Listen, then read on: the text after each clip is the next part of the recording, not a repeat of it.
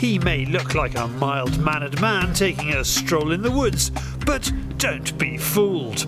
With the coast clear, he nips behind a tree and transforms himself into the human leaf.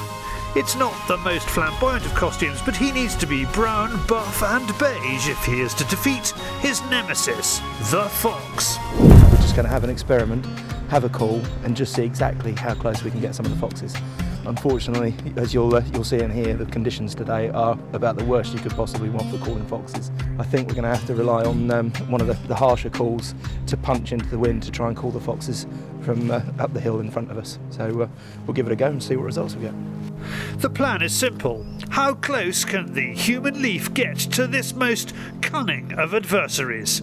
It's going to require stealth, skill, and a very tight-fitting ghillie suit from Jack Pyke. David knows Roy can see a fox, but frustratingly he's too low and can't see over the rough stuff. But Roy is happy with the first blast. With the little setup that we had there, a vixen had made her way down and had tucked up behind a log about 20 yards away from me, no more than 20 yards. And she was just sitting there. I was just scanning around, and the only thing I saw was the white underside of her jaw as she was just trying to make out what was going on. And she sat there for about 10 minutes, and where we were obviously dressed like this, um, you know, obviously she didn't know what was going on. The interesting part is, if we'd been standing there with a shotgun, she would have been shot and it would have been over and done with, and you wouldn't have seen the behaviour going on. She just didn't have the confidence to come in the last 15 yards. But again, with this wind, it's not surprising because they, they don't like committing 100% with this wind. The second stand is a great place to show this suit off to its best. This time, Roy decides to lie low. He does like experimenting with calls, but when he gets the silver fox call out, you just expect there to be some excitement. This time we get a glimpse of what can happen. David anticipates the fox appearing on the other side of the tree, but he stands there, eyeballing Roy. Then he does one. Roy flaps around thinking we have world-class footage. Instead, the gods are against us once again. I've never never done this before in, in this sort of scenario when I'm not shooting. So you, when you see a fox coming in at you like that at high level, you're just thinking, do I want to carry on calling? Is he going to carry on? But um, he just came in and he, he, couldn't make out that I was a person, but he just sort of looked and was a little bit uneasy. But bearing in mind, he was, as I say, no more than eight yards away there. Um, so yeah, plenty of time to shoot him with a shotgun. You couldn't, uh, you couldn't have missed. Well, I could have done, but uh, hopefully not.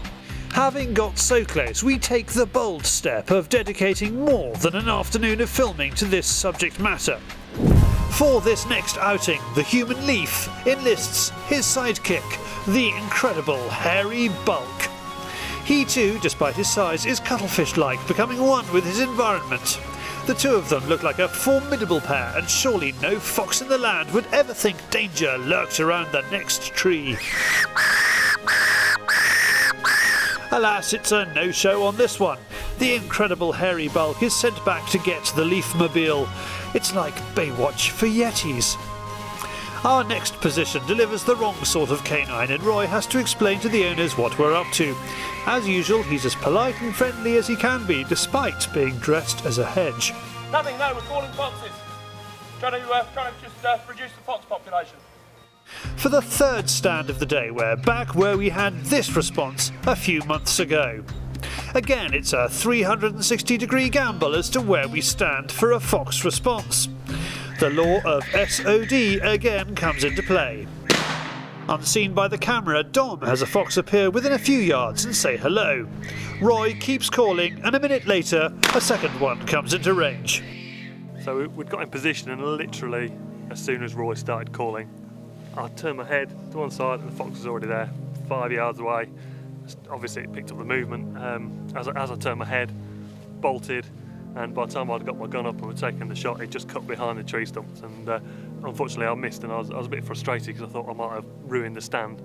Um, but uh, Roy is a man of greater perseverance than I, and uh, carried on calling. Uh, and it wasn't long before we saw another little uh, bit of movement over towards the bramble patch. Um, and it was fox number two, and I'll, I'll let Roy explain that because he was rather more successful than I was. Normally I don't call and persevere that much after a shot's gone off, then you know, a few calls and just see if there's anything else. But yeah, we called again um, and, and, really gave it some, and we got the, the second fox coming out. So uh, so yeah, very pleased with that. It's just a, uh, a shame that we didn't get that one on camera. It's a great result, but again, we failed to get the shot of the human leaf plus confused fox in frame. We dedicate another day to the cause. This time we get two responses. The first fox goes unseen until Roy stands up. It's tucked up in the brambles 30 yards away. This one spots the camera. Right, never before has so much time been spent trying to get the perfect shot on Fieldsports Channel. Roy knows the ghillie suit works, but we want that five yard image. This time we've brought more cameras, however the GoPro becomes a no pro and dies, so we're down to two. It takes at least five minutes for our first fox to appear in the undergrowth. Who knows how far he's come? David spots him, but Roy has no idea we have a customer. Before he gets too close, he is startled by an unruly cameraman.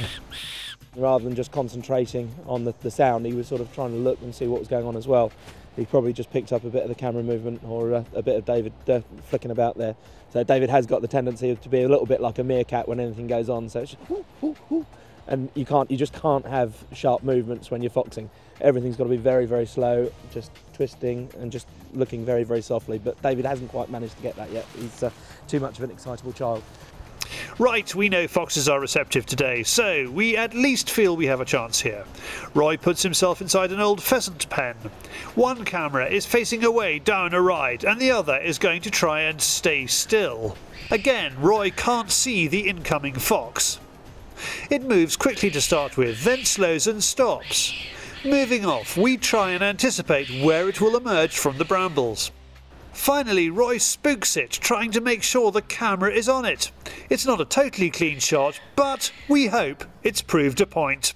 Just so there's no confusion, the arrow shows where the fox ended up. Hunting is all about understanding your quarry. It's also about appreciating your quarry as well. It's not just about going out there and, and killing and slaughtering. Obviously, when we're shooting foxes, we do that for a reason. We're having to control the numbers. But you still respect and admire your quarry. Um, and part of that admiration is understanding your quarry, understanding the animal, and just seeing exactly what you can do. And for me, that was just brilliant, being able to uh, to get that close to one. And you know, in uh, in all honesty, it's uh, it's nice just to tip your cap and uh, let them on their way. The, the ground we're on at the moment, um, they're not off, they're not posing any threat to uh, to any game or livestock.